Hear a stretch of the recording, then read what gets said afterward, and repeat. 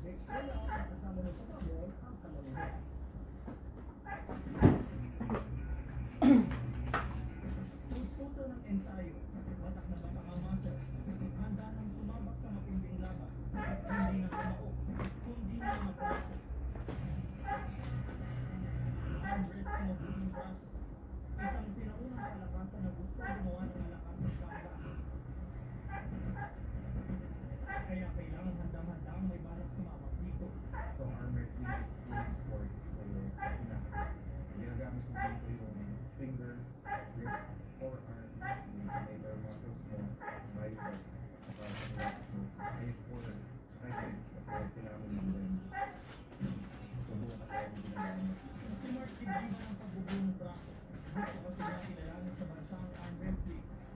National sport. Sa Philippines, marami na siya. Pero nag-aaral ako yung number of people siguro mga um, kung mga 500 and hindi pa siya pag ang federation ka, marami mga federation. Magkakaroon na hiring mga tao, train mo. Kasi pag kami federation ka, pwede ka magaling sa ibang bansa.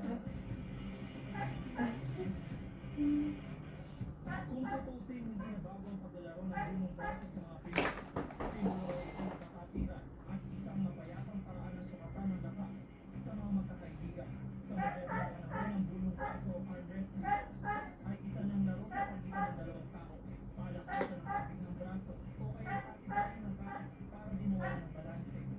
Ang unang tumumba ay sa international games mayroon pang standard table set na ginagamit.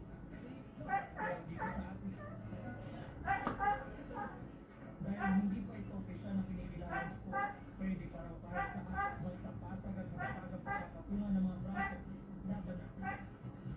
2012 pa raw, una sumabak si sa arm wrestling. Nanalo na para sa 80 kg category ng Arnold Classic Championship sa Hong Kong. 2014, nung nag-start ako ng working sa Thailand. Na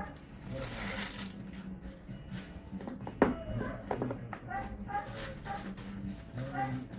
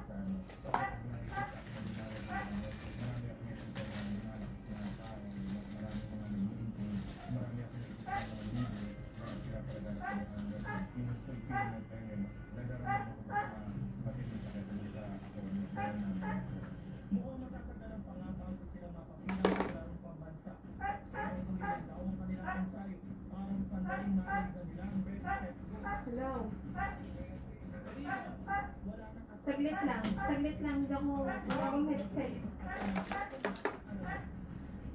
Ano?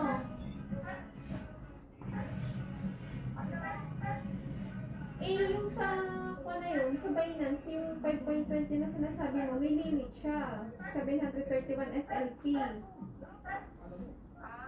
Kaya mataas. Makikita mo dun, di ba? Eh, kay ate napalitan ko siya 4.2. Eh, ngayon medyo tumataas pa para magta-times 6 pa eh.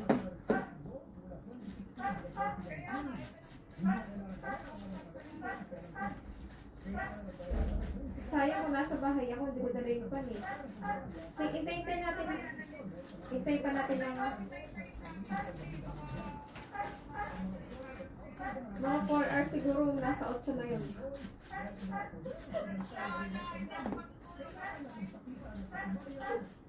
Hindi, kung gusto mo namang ibenta, ibebenta ko siya USDT. Tapos, eh, bibilangin ko USDT, kung tapos, USDT pa lang yun ah. Malalaman ba natin kung mapapapalitan siya as pesos?